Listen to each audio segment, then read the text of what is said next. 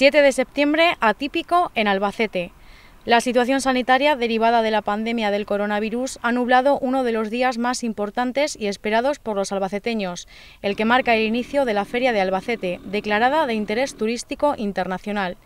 En un día tan extraño como este, la tristeza y la nostalgia están a flor de piel. De pena y de tristeza, pero ¿qué se le va a hacer? Lo primero es antes. Muchísima, porque la feria y la Virgen de los Llanos, el ambiente, la gente de los pueblos, y, es muy triste. Pero bueno, este año tiene que ser así porque está todo igual. Un poco de desazón porque la verdad es que se echa de menos, se echa de menos. Sobre todo ella que es también pequeñita y hace mucha ilusión hacerlo con ellos y no vamos a poder hacer nada este año. El recinto ferial luce este año muy distinto a lo debido por estas fechas en las que tendría que estar preparado para recibir a millones de visitantes de todo el mundo. Tampoco veremos cómo las calles de Albacete se visten con los colores típicos del traje manchego, con la música, la fiesta y la alegría de la tradicional cabalgata de apertura, que da paso a uno de los momentos más emocionantes de la feria, ese en el que la llave más emblemática de la ciudad gira para abrir la puerta de hierros ante la mirada impaciente de quienes han esperado todo un año para volver a disfrutar de esta fiesta. Muchos echarán de menos también las tardes de emoción que se viven en la Plaza de Toros de Albacete con las máximas figuras del toreo, las reuniones y fiestas con familiares y amigos que terminan al amanecer, los Miguelitos y la Sidra, los manchegos de la feria, conciertos y atracciones. El ambiente de por las noches, el chocolate con churros, las terrazas, los toros y todas las cosas. Sobre todo juntarme con mis amigos y tomarme algo y con mi familia también, la verdad las reuniones y demás. A nosotros nos gusta luego salir por la noche a dar una vuelta, tomarnos alguna cosita por allí, luego los churricos.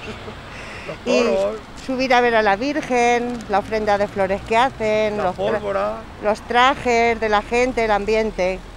El tardío, echar la tarde ahí en los redondeles. Y todo ello en honor a ella, la Virgen de los Llanos, patrona de Albacete, que este año no podrá ser venerada en el santuario del recinto ferial, en el que recibe la visita de miles y miles de personas. Desde la Real Asociación de la Patrona de Albacete le mandamos un mensaje sobre todo de esperanza a la gente que en este momento lo está pasando mal y, que encuentren el apoyo en la Virgen de los Llanos, en nuestra patrona, que es eh, signo de, unión ¿no? entre todos los albaceteños.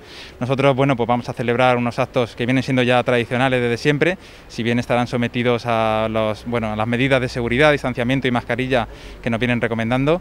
Y bueno, pues vivir estas fechas mm, más con el corazón, quizás, ¿no? Eh, entonces, pues invitar a los albaceteños que tengan paciencia, que el año que viene se podrá celebrar como viene siendo habitual y como todos queremos, pero que en las fechas que nos ha tocado vivir, pues procede ahora mismo pues la responsabilidad.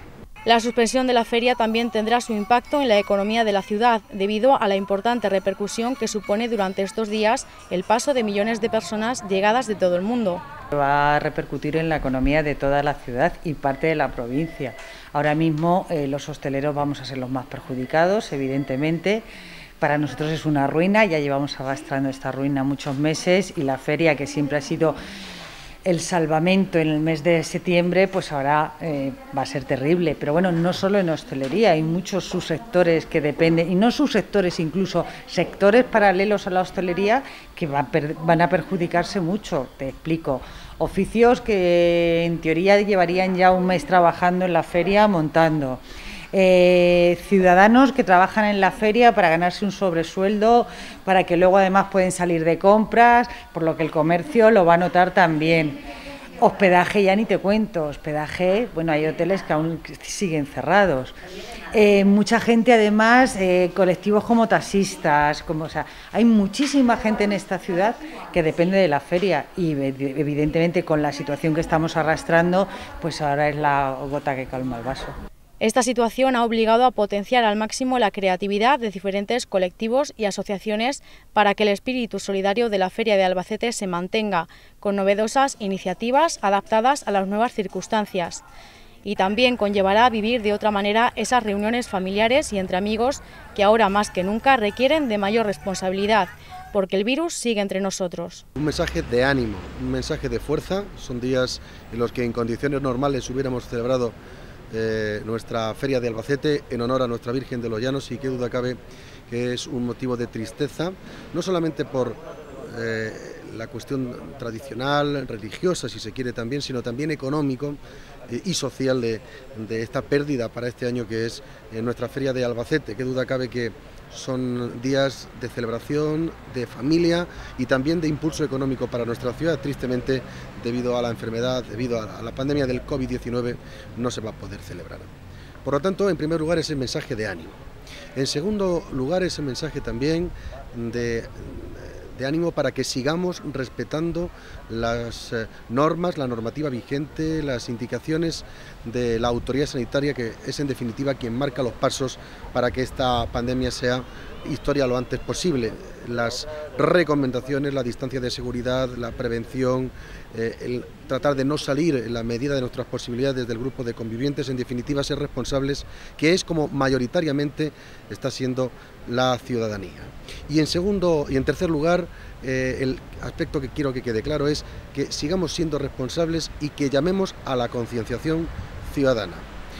Son momentos eh, en los que cualquier paso atrás sería eh, imperdonable para, para nuestra ciudad. Tenemos a nuestros sanitarios y no sanitarios, a la gente que ha luchado para combatir esta pandemia y no podemos volver otra vez a ponerles en la misma tesitura. Tenemos que acordarnos de los que faltan, tenemos que acordarnos de los que han padecido la enfermedad y que gracias a Dios eh, eh, y que gracias a los médicos están, eh, están entre nosotros. Tenemos que acordarlos de lo mal que lo hemos pasado para tratar de evitar que, volvamos a, pasarlo con momentos de esa, gravedad. Y para eso tenemos que ser conscientes de que todo el esfuerzo que hagamos ahora va a ser precisamente un paso adelante más para la resolución de este gran problema que padece la ciudad de Albacete, que padece toda España y gran parte del mundo. Primero agradecimiento, agradecimiento a la muestra de responsabilidad que tradicionalmente siempre ha tenido la ciudadanía de Albacete, cuando ha habido feria y en otros momentos en este caso la ha tenido en cada una de las fases que hemos ido pasando eh, con este episodio que estamos sufriendo. En segundo lugar, que no nos podemos relajar en este momento, que es el momento de seguir empujando, de seguir sacrificándonos, de seguir haciéndolo bien, porque eso nos va a dar un resultado, seguro, con toda seguridad, y es que vamos a acortar el tiempo en el que estamos sufriendo estas consecuencias. Y tercero, y muy importante, que no perdamos el buen ánimo, como decía el alcalde. Son fechas de feria, son fechas de alegría. Es cierto que este año no hay feria, pero no perdamos ese buen ánimo con que Albacete y su ciudadanía aborda cada año estas fechas y que lo aprovechemos para ser todavía más fuertes en el ejercicio de responsabilidad. La mayoría de la ciudadanía lo está haciendo y lo está haciendo muy bien. Igual hay que dirigirnos a los que no son los protagonistas, a esa minoría que a veces les tenemos que recordar que es bueno para ellos y es bueno para todos tener esa responsabilidad. Una feria de Albacete 2020 atípica, dedicada a todos aquellos que nos dijeron adiós por la pandemia. Feria que este año habrá que vivirla desde el corazón.